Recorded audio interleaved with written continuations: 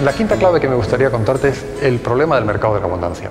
Fíjate en esta imagen que es un retrato del el mercado de cosmética femenina para mujeres entre 35 y 55 años preocupadas con sus arrugas.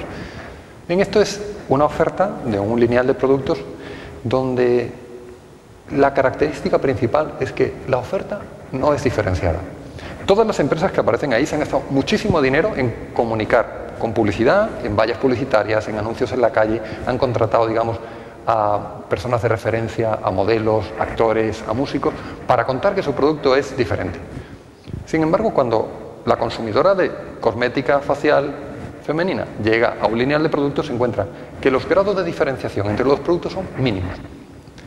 O sea que el problema del mercado de la abundancia es que realmente tenemos mayor oferta que demanda, hay un montón de empresas que tratan de venderte su producto a través del mismo canal, con una publicidad muy parecida y con unos productos que realmente no son muy distintos. ¿Y qué es lo que puedes hacer para diferenciarte en un mercado de abundancia donde no hay una gran diferenciación? Pues lo que hacen algunas empresas, como se ve en la siguiente diapositiva, es tratar de interrumpir a los clientes con displays, con mecanismos de marketing o publicitarios más agresivos. Uno se pregunta cuál es el siguiente paso, cuál es el siguiente paso después de, poner un display de este tipo, porque el siguiente paso podría ser, pues no sé, quizá abra una trampilla por el, por el lineal de productos y que te caigas. Tal vez podría ser una opción diferencial. Pero bien, el, el asunto es que cuando todas las empresas acaban copiando esas estrategias de diferenciación publicitaria o de marketing que están en la periferia del producto, que no tienen nada que ver con el corazón de tu producto o servicio, es la manera que tienes de comunicarte, eso introduce un ruido enorme en el mercado. Y el cliente básicamente lo que desea es que le dejes en paz. Porque hay un montón de empresas que están atacándole constantemente por distintos canales para contarle historias que muchas de ellas no le interesan. El lineal de productos de cosmética que hemos visto hace un momento es un retrato de un montón de mercados, no solo de la cosmética, el mercado de los servicios financieros, el mercado de los servicios jurídicos, el mercado del retail, el mercado de lo que quieras. Es mercados en los que hay una oferta muy superior a la demanda y en el que los grados de diferenciaciones son muy pequeños. Bien, el reto que tenemos es ser capaces de diferenciar nuestro producto o servicio. Lo que pasa es que a veces cuesta salir de esas propuestas de valor tradicionales con las que hemos operado. Y quizá te lo puedo ilustrar con algunos ejemplos de industrias variadas. El mundo de las lavadoras, por ejemplo. Es un mundo que aparentemente representa alguna tarea que no es, digamos, de ocio, es una tarea que hay que hacer, probablemente el fin de semana, y no es muy divertido. Pero si para ti el mundo de la lavadora solo representa eso, haces lavadoras convencionales. Pero hay lavadoras muy distintas. Y, por ejemplo, en la siguiente diapositiva vemos una lavadora diseñada por un diseñador japonés que, bien, podría ser como una lavadora de Ágata Ruiz de la Prada en España, pero es una lavadora pensada para pisos de 40 metros cuadrados donde invitas a tus amigos a cenar y la lavadora básicamente se va a ver porque está presente. Ya que se va a ver, lo que te gustaría es que la lavadora sea distinta. Así que hay gente que está dispuesto a pagar ese plus por ese diseño y, por supuesto, el objeto de conversación durante la cena va a ser la lavadora y la gente la va a ver. Y por supuesto se van a ir no hablando de la cena que has preparado, sino de la lavadora que tienes en casa. Por ese efecto, por ese efecto boca-oreja, la gente acaba hablando de esas lavadoras diferenciadas por ese motivo. Hay otro tipo de lavadoras, no los, he traído en diapositivas hoy, pero hay una empresa que está haciendo lavadoras que sirven para lavar ropa y comida. No al mismo tiempo, pero es una lavadora pensada para ese mercado de gente que está lavando en el río y que no tiene lavadora. Entonces les ofreces una lavadora que sirve para lavar fruta y luego también esa ropa de más o menos de campo o de trabajo que tiene. ¿no? Insisto, no todo junto, pero es una lavadora fácil de usar y que representa una ventaja para los que estaban el día anterior lavando en el río. También hay otra lavadora eh, muy interesante que es una lavadora que sirve para lavar eh, y que no necesita ni agua ni jabón.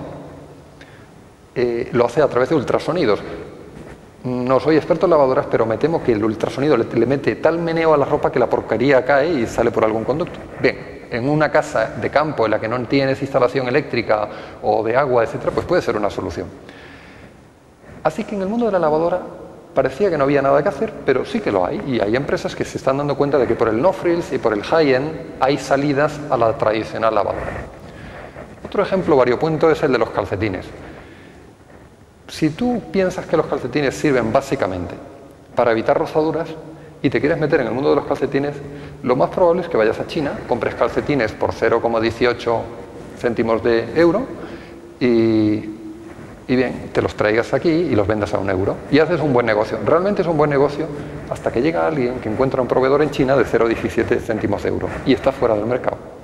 Y esta tendencia se repite una vez y otra vez. Es competir en precios y siempre hay alguien que es capaz de encontrar un proveedor más barato.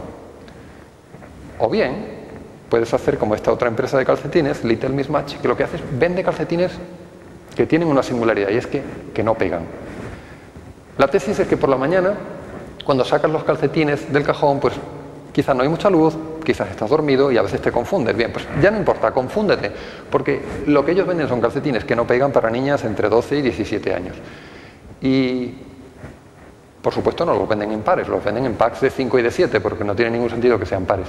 Tienen 133 modelos y, claro, la fuerza de ventas de esta empresa que se creó hace un año en Estados Unidos más o menos y que al cabo de un año estaba valorada en 100 millones de dólares, la fuerza de ventas de esta empresa no son ejecutivos comerciales, no son genios de, digamos, de la venta, son niñas de 15 años que llegan al colegio y le preguntan a sus amigas, ¿habéis visto mis nuevos calcetines? Y las amigas les parece que es interesante, que son diferentes, que son divertidos, y empieza la competición a ver quién compra más tipos distintos. Hasta 133, fíjate si hay mercado. Estos dos ejemplos me sirven para ilustrar la importancia de la diferenciación. En el mercado de la abundancia necesitas diferenciarte. Y me gustaría concluir, esta idea con una cita de un libro de Seth Godin, que es un genio del marketing, del word of mouth marketing, lo que llamamos el boca a oreja. Y básicamente lo que dice es que si tú no eres capaz de definir tu posicionamiento en 8 o 10 palabras, tú sencillamente no tienes un posicionamiento.